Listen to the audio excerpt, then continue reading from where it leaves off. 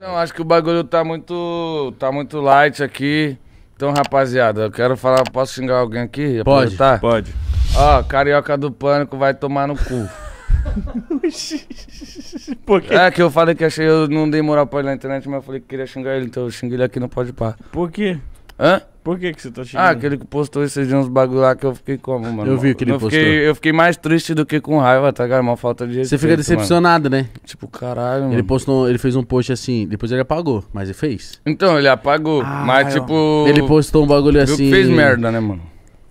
É, não sei se. Eu não lembro se as palavras foram essas, mas o contexto era. Os MCs. Só eu que conheço os MCs e Depois os que DJ morre. depois que morre. É. Pá. Ou fazem merda. Nós acabamos É. de perder um amigo, parça. Aí nós vemos uma parada dessa aí, o bagulho, tipo, não é. Mano, não tem como aceitar, mano. Não, foi vacilo. Tanto é que eu escrevi uma parte de coisa, eu falei, não, vou ser mais suave. Aí eu fui só comentei lá. Tanto é que uma parte de gente já viu como. Na mesma bala. Eu só comentei assim, só eu que. Ó, o nome do cara é carioca no Instagram, o bagulho e tudo, pra não achar que eu tô falando de carioca. O nome do cara é carioca. Aí eu fui e falei, só eu que descubro. Só eu que ou- ouço falar de um carioca depois que ele fala merda, dá descarga alguém aí.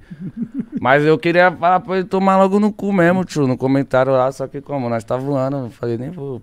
Mas aproveitando aqui, eu vou xingar ele agora, já. Tá Já bom. xingou, né? Aproveitou o espaço. É, já xinguei, né? Ah, eu tinha visto na hora que eu. Mas vi. já era, tá, tá perdoado, não tá, mas não vamos dar hype pra ele também, não.